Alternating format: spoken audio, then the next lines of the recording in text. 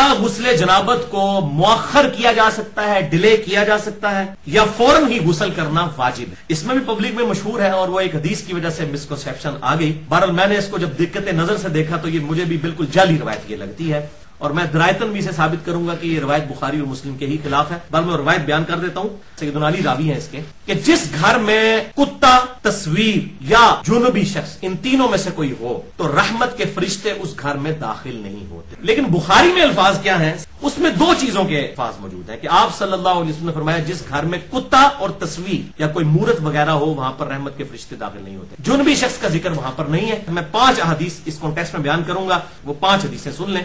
पहली हदीस बुखारी में दो सौ अट्ठासी, मुस्लिम में सात सौ और मिशकात में चार सौ तिरपन। अब आयशा रदी अल्लाह तला का बयान है कि जब आप सल्लल्लाहु अलैहि वसल्लम जुनबी हुआ करते और आप सल्लल्लाहु अलैहि वसल्लम इरादा फरमाते खाना खाने का या सोने का तो आप सल्लल्लाहु अलैहि वसल्लम वज़ू फरमा लिया यानी आप खाना खाने से पहले वज़ू कर लेते या अगर आपका जुनबी हालत में ही सोना होता तो आप सल्लल्लाहु अलैहि वसल्लम वज़ू फरमा के सो जाया कर।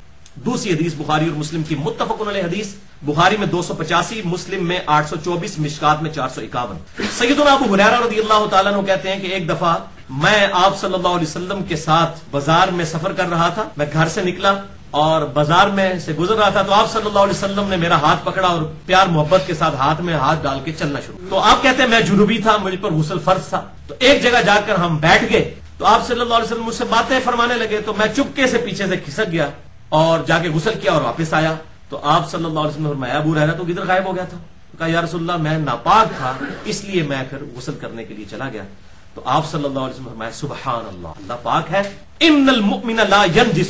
बेशक मोमिन तो कभी नापाक होते ही नहीं है। यानी ये जो गुसल का फ़र्ज़ होना ही कोई नापाकी तो नहीं है। ये एक हुक्म ही नहीं जा सकता। हत्या के बुखारी और मुस्लिम एक और हदीस है। बुखारी में दो सौ नब्बे, मुस्लिम में सात सौ चार और मिशकात में चार सौ बावन। अम्मा आयशा कहती है कि आप वसल्लम ने मस्जिद नबी के हुजरे की उस खिड़की में से मुझे कहा कि मेरी चटाई मुझे पकड़ा दो। तो मैंने कहा कि अल्लाह के रसूल, मैं तो नापाक हूँ, मैं हालत हैज़ में हूँ। तो आपने फरमाया, आयशा, हैज़ को तेरी हाथों में घुस गया? पकड़ा मुझे चटाई।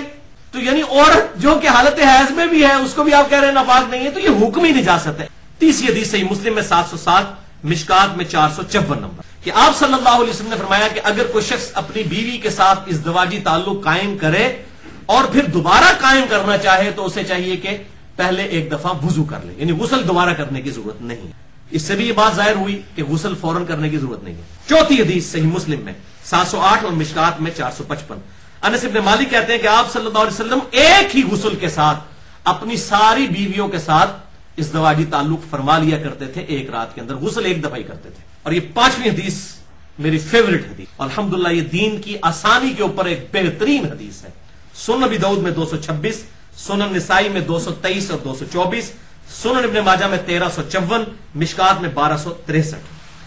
सईदुना गुदैफ बिन हारिस कहते हैं कि मैं एक दफ़ा मायशा रदी अल्लाह तला की खिदमत में हाजिर हुआ और मैंने अर्ज़ की कि अम्मा जान, ये बताइए कि आप सल्लल्लाहु अलैहि वसल्लम गुस्ले जनाबत जो है, वो रात के शुरू के हिस्से में करते थे या आखिरी पहर उठकर किया करते थे जब आप तहजुद के लिए उठते थे? तो अम्मा आयशा ने कहा कि अल्लाह के नबी सल्लल्लाहु अलैहि वसल्लम कभी कभार तो रात के अव्वल हिस्से में ही गुसल फरमा लिया करते थे, जब जुनबी होते थे। और कभी आप सल्लल्लाहु अलैहि वसल्लम गुसल को मुअखर कर देते थे, रात के आखिरी पैर तक उस वक्त उठकर गुसल फरमाया करते थे। तो सईदुल हुदैफ ने वही नारा बुलंद किया, अल्लाह अकबर, अल्हम्दुलिल्लाह, अल्लाह बड़ा है, तमाम तारीफ़ उसके लिए है, तमाम बड़ाइयाँ उसके लिए है, जिसने दीन में इतनी वसत रख दी दूसरा फिर उन्होंने पूछा, बताइए अम्मा कि आप सल्लल्लाहु अलैहि वसल्लम वित्र की नमाज़, इशा की नमाज़ के साथ ही पढ़ लेते थे या आखिरी पैर में उठ के पढ़ा करते थे? उन्होंने कहा, बेटा, कभी साथ ही पढ़ लिया करते थे और कभी आखिरी पहर उठकर पढ़ा करते थे। फिर उन्होंने कहा, अल्लाह अकबर, अल्हम्दुलिल्लाह।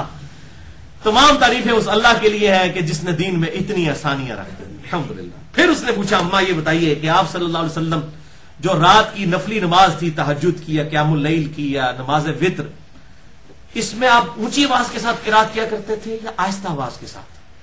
तो आपने फरमाया, बेटा, कभी ऊँची आवाज़ से भी कर लेते थे और कभी आहिस्ता आवाज़ के साथ। फिर उन्होंने कहा, अल्लाह अकबर, अल्हम्दुलिल्लाह।